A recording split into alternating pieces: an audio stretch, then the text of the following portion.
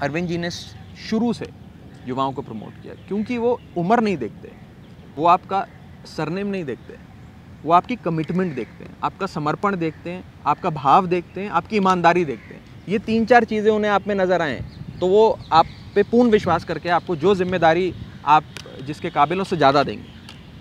वो उम्र नहीं देखते, वो आपके बाल सफ़ेद होए कि नहीं हो ये नहीं देखते, आपका कोई बहुत बड़े घराने से, राज परिवार से आते हैं कि नहीं आते, ये नहीं देखते। ये सबसे बड़ी बात है और ये इसकी वजह से ही उन्होंने शायद मुझे भी इस काबिल थोड़ा बहुत समझा जो मुझे इतनी महत्वपूर्ण जिम्मेदारियाँ दी। मैं उनका ऋणी हूँ। मुझे बहुत यंग एज में उन्होंने नेशनल स्पोक्स पर्सन बना दिया। मैं शायद बाईस तेईस साल का था जब नेशनल स्पोक्स पर्सन बना दिया।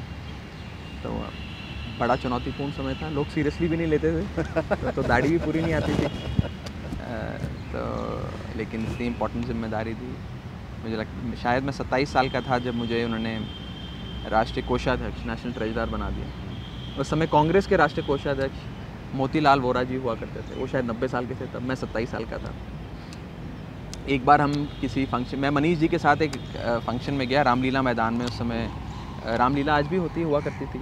अब कोविड के चलते नहीं हो रही, लेकिन मनीष जी चीफ गेस्ट थे शायद तो मैं उनके साथ था तो मैं साथ चला गया उनके। तो वहाँ मोतीलाल वोरा जी भी आए हुए थे। तो हम दोनों साथ बैठे थे। साथ साथ कुर्सी पे मनीष जी मंच पे थे मैं और मोतीलाल वोरा जी साथ पे बैठे तो किसी ने फ़ोटो खींची। फ़ोटो खींच के उसने सोशल मीडिया पे डाली कि एक पार्टी का राष्ट्रीय कोषाध्यक्ष नब्बे साल का एक पार्टी का राष्ट्रीय कोषाध्यक्ष सत्ताईस साल का। ये है देश की राजनीति में एक बहुत बड़ा बदलाव बड़ा परिवर्तन। तो वो एक एक इमेज जो है वो कहीं मैं बड़ा इंस्पायर हुआ उस इमेज इसलिए नहीं कि मैं उस इमेज में था इसलिए कि लोग युवाओं का प्रतिनिधित्व कम होता जा रहा है। आना चाहिए युवाओं को राजनीति में।